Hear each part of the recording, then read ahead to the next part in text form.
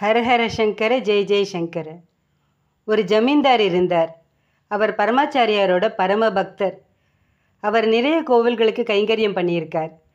ஆனால் ஏதோ கெட்ட நேரம் அவரோட வியாபாரம் நஷ்டமாயிடுத்து. அதனால் அவர் ரொம்ப மனசு உடைஞ்சு போயிட்டார். இந்த உலகத்தில் கடவுள்னு ஒருத்தர் இல்லவே இல்லைன்னு கடவுளையே வெறுக்கிற அளவுக்கு போயிட்டார். சாமி கும்பிடுறதையே நிறுத்திட்டார். அந்த சமயத்தில் மகா பெரியவா கும்பகோணத்துக்கு பக்கத்தில் முகாமிட்டிருந்தார். பெரியவா கிட்டேயே நியாயம் கேட்போம்னு நினச்சி உடனே கிளம்பி பெரியவாளை பார்க்க வந்தார். அவர் வெறும் கையோடு வந்திருப்பதிலேயே அவர் எந்த அளவுக்கு விரக்தியில் இருக்காருன்னு பெரியவாளுக்கு தெரிஞ்சுடுத்து. கடமைக்கு நமஸ்காரம் பண்ணி எழுந்தார். பெரியவா இதையும் கவனிச்சார். ஆனால் தெரிஞ்ச மாதிரி காமிச்சிக்காம ஏதோ கேட்கணும்னு வந்திருக்க போல இருக்கே என்ன கேட்கணும் சொல்லு அப்படிங்கிறார். பெரியவா நான் பண்ணாத பூஜை இல்லை போகாத கோவில் இல்லை கும்பிடாத தெய்வமும் இல்லை. அப்படி இருக்கும்போது தெய்வம் எனக்கு எவ்வளவு பெரிய சோதனையை கொடுத்துருக்கு. நான் ஏன் அதை கும்பிடணும் அப்படின்னு எல்லாம் வார்த்தைகளை நெருப்பு மாதிரி கக்கினார். அதை கேட்ட பெரியவா இப்போ நீ ரொம்ப விரக்தியில் இருக்க. இப்போ உனக்கு என்ன சமாதானம் சொன்னாலும் எடுபடாது. அதனால் ஒரு கதை சொல்கிறேன் கேளு அப்படின்னு ஒரு கதை சொல்ல ஆரம்பிக்கிறார். உப்பு விற்கிறவனுக்கு உப்புக்குறவன்னு பேர். அப்படி ஒரு உப்புக்குறவன் இருந்தான். அவன் காமாட்சியோட பரம பக்தன். கார்த்தால எழுந்திருக்கும் போதே காமாட்சின்னு சொல்லிட்டு தான் எழுந்திருப்பான். தூங்க போகிறதுக்கு முன்னாடியும் காமாட்சி பேரை சொல்லிட்டு தான் படுத்துப்பான். தினமும் உப்பு மூட்டையெல்லாம் கழுது மேலே ஏற்றிண்டு சந்தைக்கு எடுத்துட்டு போவான்.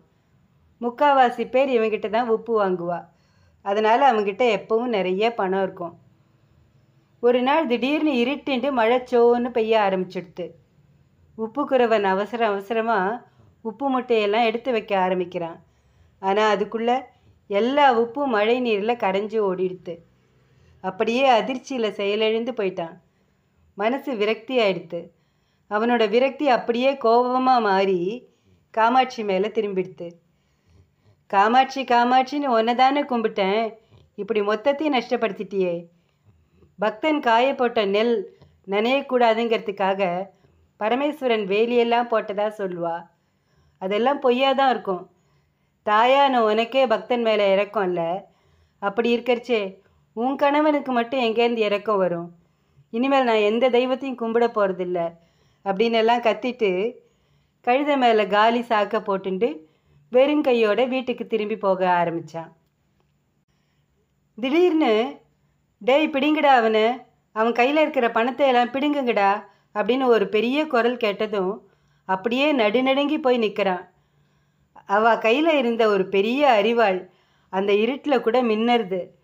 நடுங்கி போய் உப்பு உப்புக்குறவன் நம்ம உசுறு நம்மளோடது இல்லைன்னு ஒரு தீர்மானத்துக்கே வந்துட்டான். மரியாதையாக பணத்தை எல்லாம் எடுறா? அப்படின்னு கேட்டுட்டு அவனோட மடியில் இடுப்பில் கழுத மேலே இருந்த சாக்கில் ஒரு இடம் விடாமல் தொழாவறான் ஒருத்தன். எங்கேயும் ஒரு தம்புடி கூட இல்லை. எங்கடா அந்த பணத்தை எல்லாம் ஒழிச்சு வச்சிருக்க?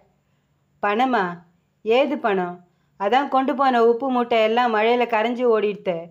அப்புறம் ஏது வியாபாரம்? ஏது காசு? படபடப்பாக சொல்கிறான் உப்புக்குறவன்.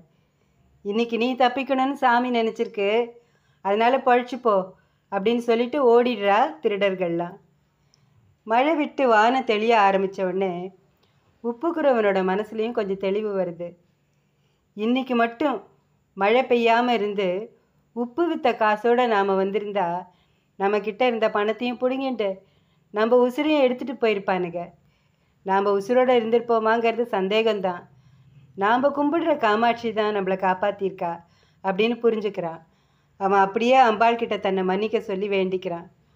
மகா பெரியவா கதையை சொல்லி முடித்ததும் ஜமீன்தாருக்கு தன்னோட தவறு என்னங்கிறது புரியுறது. தனக்கு ஏதோ ஒரு காரணத்தினால தான் இப்படி கஷ்டம் வந்திருக்கு அப்படின்னு புரிஞ்சுட்டு பெரியவாளுக்கு நமஸ்காரம் பண்ணிட்டு பிரசாதம் வாங்கிட்டு புறப்படுறார். கொஞ்ச காலம் கழித்து அந்த ஜமீன்தார் மறுபடியும் பெரியவாளை தரிசிக்க வரார். பெரியவா போன தடவை நான் வந்தப்போ என்னோட சொத்து மொத்தமும் பறி போகிற மாதிரி சூழ்நிலை இருந்தது.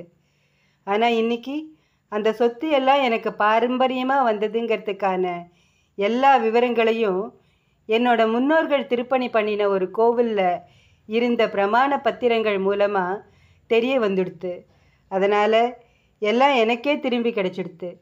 விரக்தியில் பேசிட்டேன் பெரியவா. உங்களை சாட்சாத் பரமேஸ்வரனாகவே நினச்சிண்டு நமஸ்காரம் பண்ணுறேன் என்னை மன்னிச்சுடுங்கோ.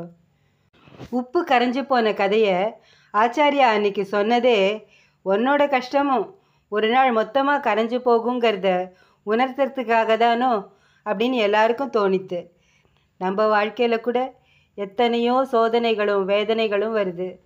ஆனால் அவையெல்லாம் கடவுளை நம்பி வாழ்பவர்களுக்கு தண்ணியில் கரையிற உப்பை மாதிரி கரைஞ்சு ஓடி போயிடும். அதனால் எதுக்காகவும் கவலைப்பட வேண்டாம். எல்லாவற்றையும் கடவுள் பார்த்துக்கொள்வார். ஹரஹர சங்கர ஜெய் ஜெய் சங்கர. காஞ்சி சங்கர காமகோட்டி சங்கர.